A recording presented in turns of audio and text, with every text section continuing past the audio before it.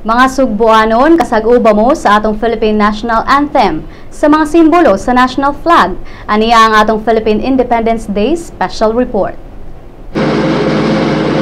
Bayang maging Balat ng silang Alam ng puso Sa dibdib mo'y buhay lupang hinirang Duyan ka ng magiting Daman lulupig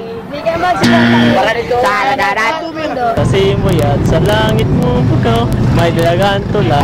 Awit sa pagmay pinanama Ang islat ng watawat mo'y tagumpay na nagnininig Ang bituin at araw niya kailan pag magdidilim Lupa ng araw na pag Kasinta Wala sa piling mo Aming ligaya na pag may mga api Ang mamatay ng dahil sa'yo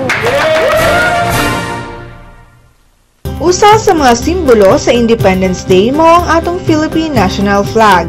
Nasayod ba mo kung unsay kahulugan sa mga elemento niini sa pagsuroy-suroy sa Sanser Pilipinas?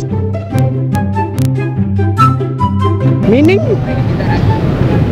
Meaning courage. And I'm, I'm sure, I'm not sure about blue. Blue stands for peace. Ang Philippine National Flag kung ibutang sa flagpole kinahanglan ang naa sa ibabaw ang blue. Simbolo niini ang panahon sa kalinaw. Ang red, meaning basta ka ng bati Bravery? Demokrasi. Pwede ra. I do not know Ang sa red kay war War Samtang kung color red ang nasa ibabaw, buot pasabot niini mao ang panahon sa kagubot. Kung ibutang pabarog ang bandera, kinahanglan ibutang sa right side ang color blue o sa left ang color red. Ang white triangle nagsimbolo sa katipunan, ang grupo sa mga Pinoy nga misubak sa Spanish rule.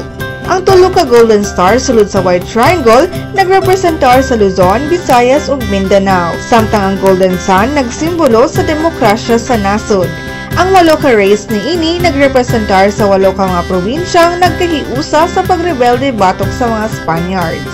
Ang Manila, Cavite, Bulacan, Pampanga, Nueva Ecija, Tarlac, Laguna ug Batangas.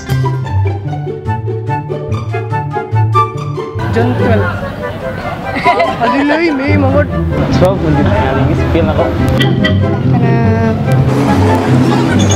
Butang na limot mo Ang Philippine Independence Day giproklama sa Estados Unidos niadtong July 4, 1946. Apan niadtong 1962 si kanhi President Diosdado Macapagal giusab ang petsa gikan sa July 4 ngadto sa June 12. Kini human mas gila ang unang independensya sa nasod niadtong June 12, 1898 diin mianunsyo independence gikan sa Espanya si first Filipino President Emilio Aguinaldo. Alang sa inyong kasayuran, kini si Maurice Puyo. Happy Independence Day mga higala!